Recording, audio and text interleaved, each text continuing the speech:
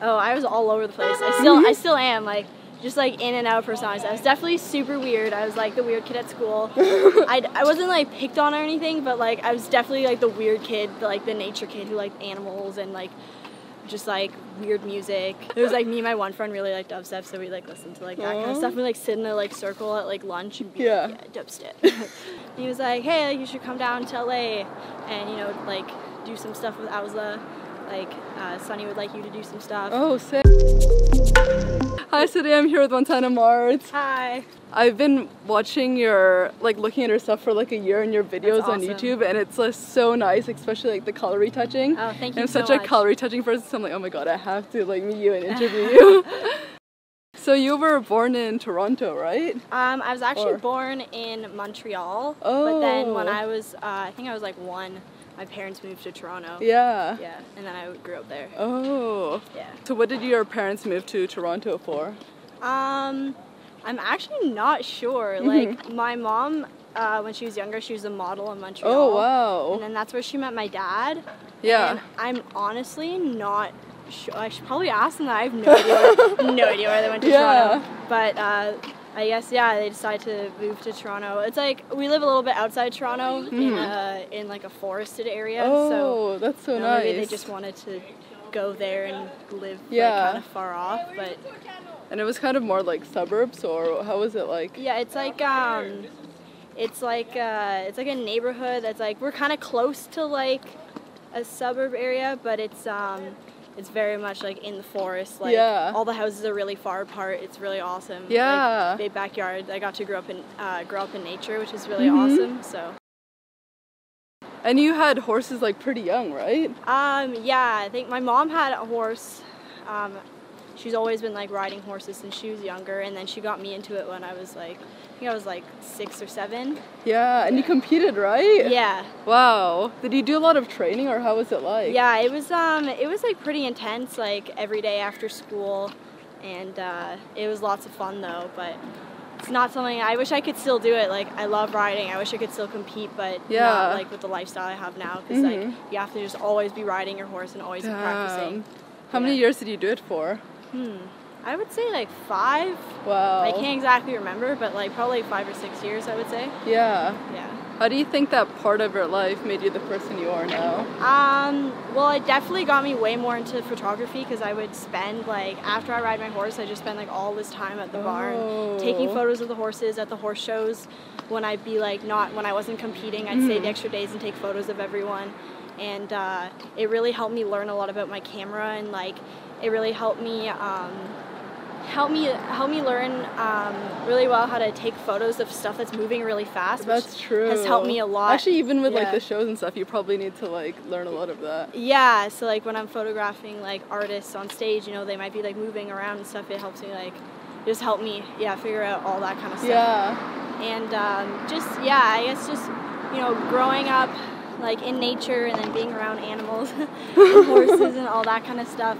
Um, I think it, it's really helped me have a really really big appreciation for nature, Mm. and uh, I definitely want to do more uh, nature related things Yeah. in the future, like uh, documentaries and Oh, that kind of stuff, like National Geographic kind Yeah, of stuff. that's so sick. kind of like my end goal. yeah, so- damn. How do you describe yourself like growing up?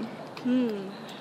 Oh, I was all over the place. I still. I still am like, just like in and out of personalities. I was definitely super weird. I was like the weird kid at school. I, I wasn't like picked on or anything, but like I was definitely like the weird kid, the, like the nature kid who liked animals and like just like weird music. Mhm. And uh, yeah, that was that was me. What kind of music were you listening to back then? Like already Oh. electronic or? Um, I started off with like I was like super into Johnny Cash and the Beatles. Like I was obsessed with the Mhm. Beatles, all that kind of stuff, and Led Zeppelin. And then uh, then it like progressed to like Blink 182 and A Day to Remember. And then um, as every like little girl did, I went through like my little Justin Bieber phase. but uh, I think it was like before that. Yeah. uh, like the first time I like really like paid attention to electronic music was um, it's funny. I'd watch these like videos on YouTube where people would make edits to like horses like jumping and Oh, stuff that's how you. Oh yeah, my so god. that's like kind of like how I learned how to make videos. Cause uh, I would watch like tutorials and these like girls they would make really dope edits to people on horses and horses like running around. Mm-hmm. Oh. And I watched one that was like to um, Basshead by Bassnectar, and I was Yeah. like, what is this weird music? And I really liked it. So then I started getting like really into like Bassnectar and like yeah. dubstep. Oh, Um, how old were you back then when you I think started? I was like, I think I was like in grade like five or six. yeah. Um, so I'm not even sure. I was I was like pretty young, like like young enough that like none of my other friends had like any idea what dubstep was. They're like, what Yeah. the hell is this music? Damn. Like they were like all like yeah. you know like Justin Bieber phase, and Mhm. I was like I like dubstep. So then it was like me and my one friend really liked dubstep, so we like listened to like that kind of stuff. We like sit in a like circle at like lunch and be Yeah. like, yeah, dubstep. What were your favorite subjects back then? oh, definitely art. Yeah, you were Yeah. like all out, like I was yeah, I was like the art kid for sure. I really liked yeah. Yeah. Do your parents do art as well, or where do you think you got that Um, interest from?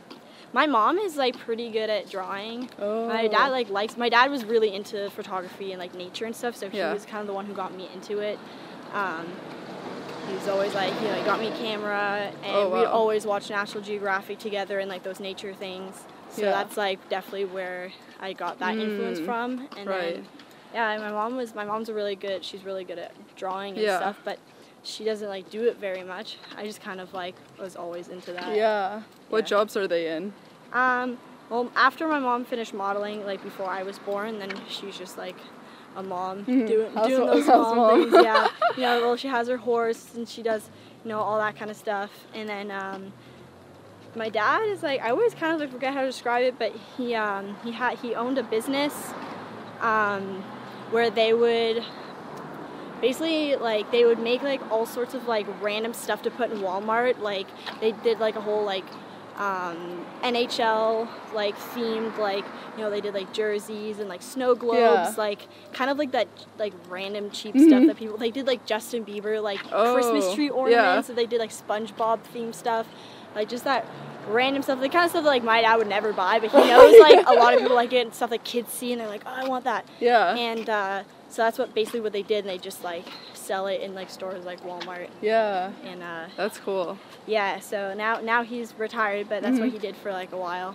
so Did he get into art first or photography, like drawing? definitely drawing Yeah. like since I was really little like always like drawing like it's so funny I look back at the little books that I would uh, write uh, at school when I was a kid and they're like super elaborate drawings they're not very great but like from like kindergarten and then like the stories were Yeah. so weird like really? What I'm were like, they? Oh my god, there's like so many. There's like one where like it was like I forgot what my name was, forgot who I was. It was like Mhm. so it was like really deep. And I was like in kindergarten. I was like today I woke up and I forgot my name. I forgot who I was. Oh, wow. So I asked my mom who I was. She said you're Montana, and I said yay. That's the story. But there's some was like it, there's some it like I flew really close to the moon and it was like three different colors. And then they'll be like a lot. They're like I found a dragon. And the dragon turned me into a dragon, and we did all this stuff. Uh, they be, they be like, they get like super weird, Yeah. and like sometimes they're like, there's a lot of creepy ones about like me turning into a ghost and like finding like all this dead stuff, and then like That's the so water cool, in the lake was red because I found like the golden tooth of the monster. Like just all Oh this like God. random stuff. Like they're always like monster. Like Yeah. there's a lot of scary. I really liked horror stuff when I was little. Mhm. So your first camera, your dad bought it for you, or? Uh, yeah, for Christmas when I was, uh, I don't How even know how old old? I was. I have no idea. I was like pretty young. Um, I would say I used to always use my mom's. Like start off, I'd use my mom. My mom had like a little handy cam, Mhm. and uh, me and my friends would uh, get together on every like Friday after school. Um, I think we're I don't even know how old we were. We were pretty young, like all the way like from like kindergarten and stuff. Yeah. Um, and we would just like I'd get my mom to film us like doing random plays. Like I'd make Mhm. up like weird, weird like things to do, and then it. Oh, you were into acting?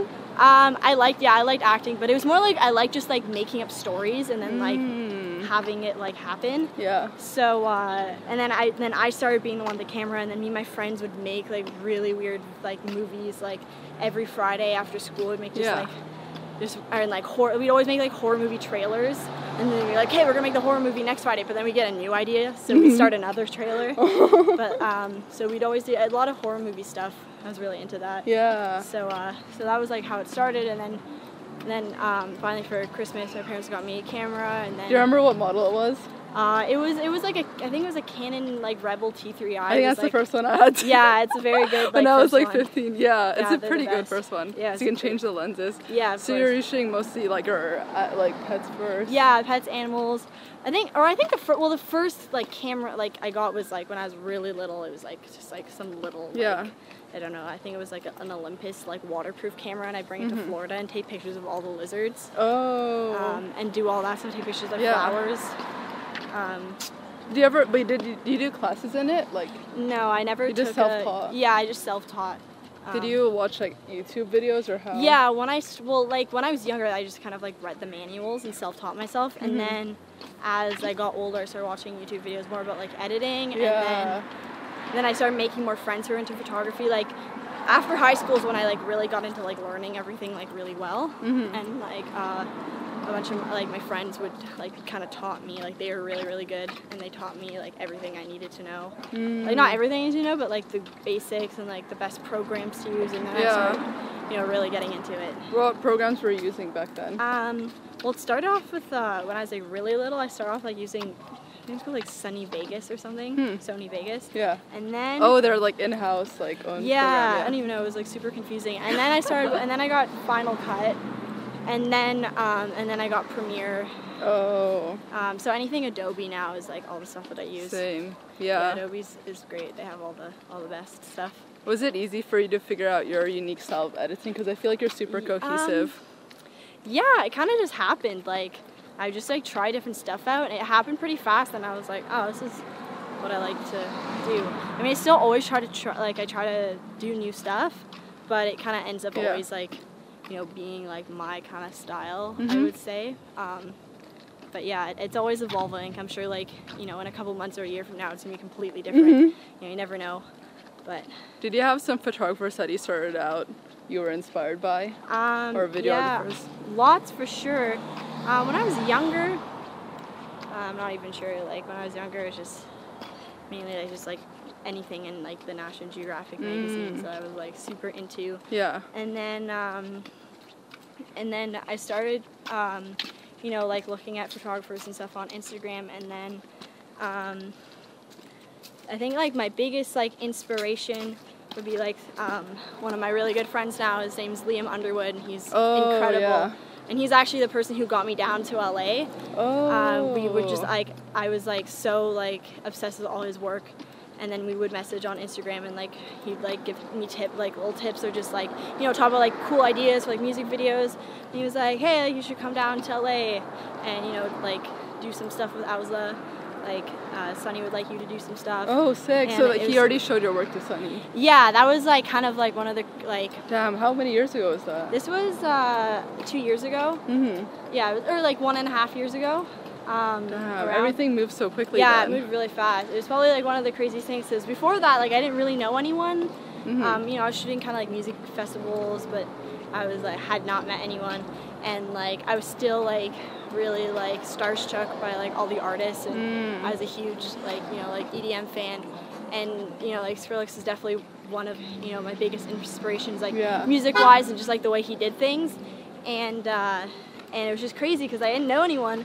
And then all of a sudden, you know, I'm at, I like on Instagram at night, and then I see it's like Skrillex followed you, and I'm like, that's got to be a mistake. Oh my like, That's a fake account. I was like, and it wasn't. I was like, what? Like, why would he follow me? I was freaking out.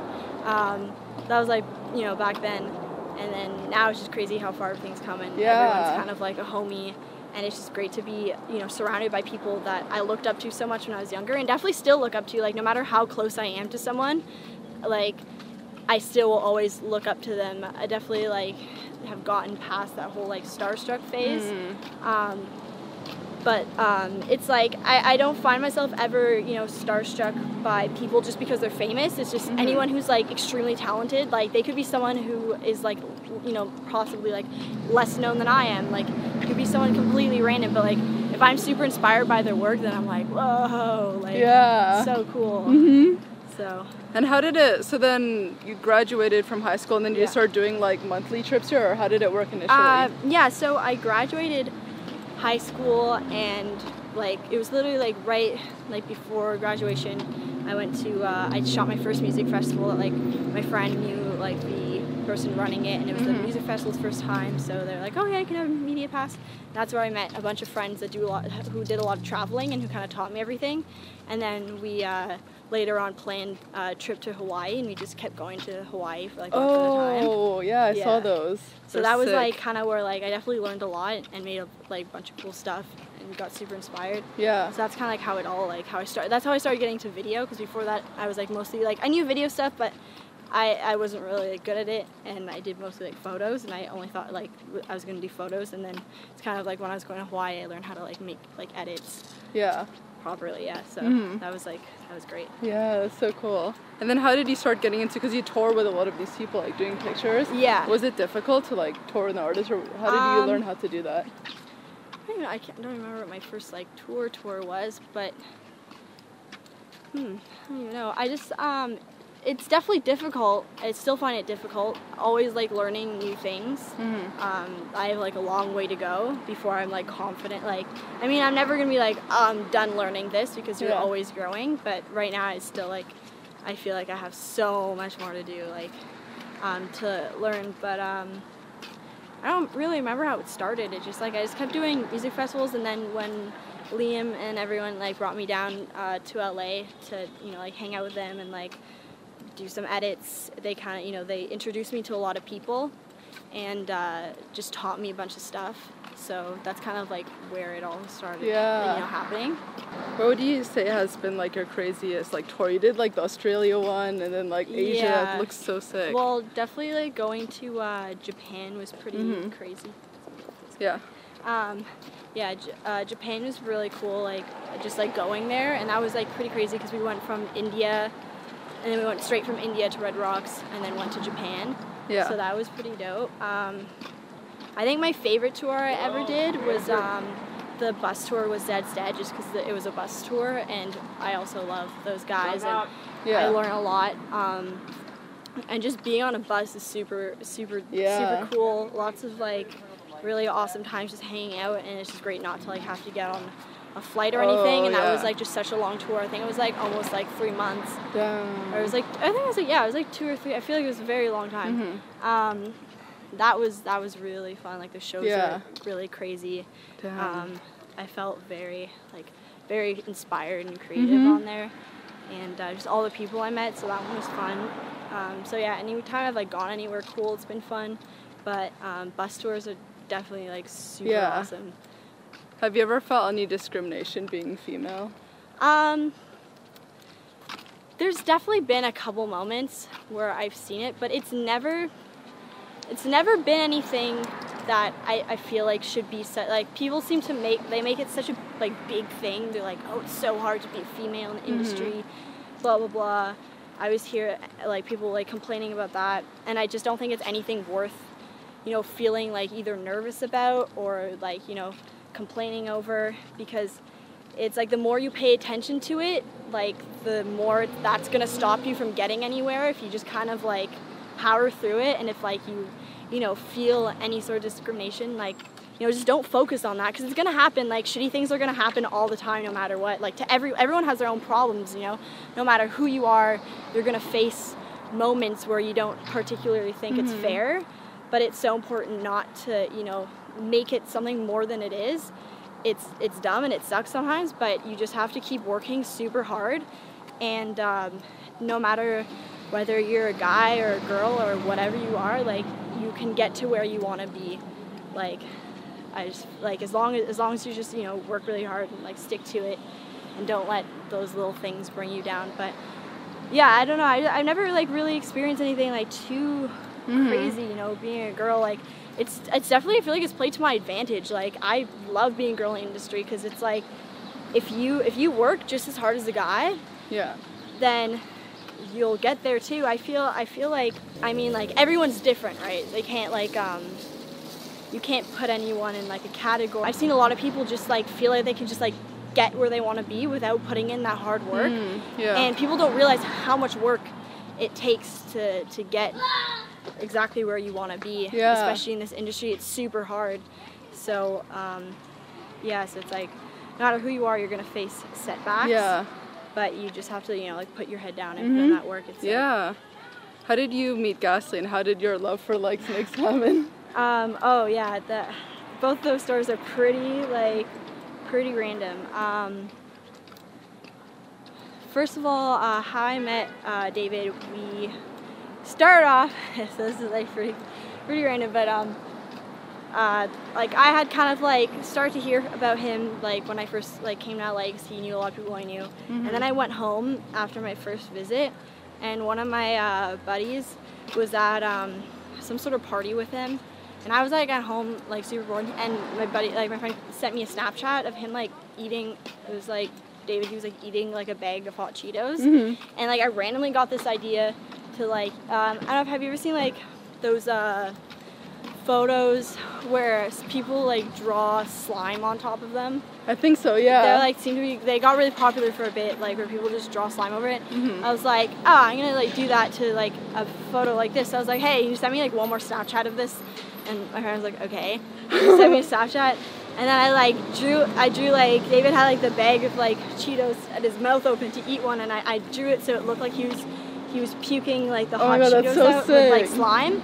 I think I've actually seen that. now Yeah, he put it on his Instagram, and then uh, yeah, my friend sent it to him. He thought it was super cool, and um, and then later on, like the next time I went to LA, um, Mija had like a, a shoot uh, and a barbecue for for uh, one of her uh, music videos, and um, we uh, he was there, and I was like, oh, is that dude? And um, I like introduced myself. And was like, hey. Um, I'm Montana. I'm the one who uh, I drew puking uh, Cheetos. that description, I love it. and he was like, "Whoa, like, nice to meet you." And then he gave me his number, and he was like, "Hey, let's work on designs sometime." And then Mhm. that's how we started hanging out. And um, it's really funny because later on, um, a little bit later that year, he actually ended up puking hot Cheetos on me. So it was like. What? Oh my god, full circle Yeah, for full sure.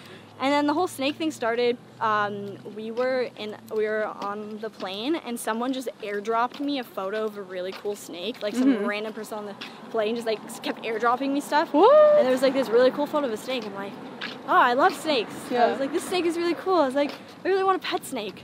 And then, um, Mhm.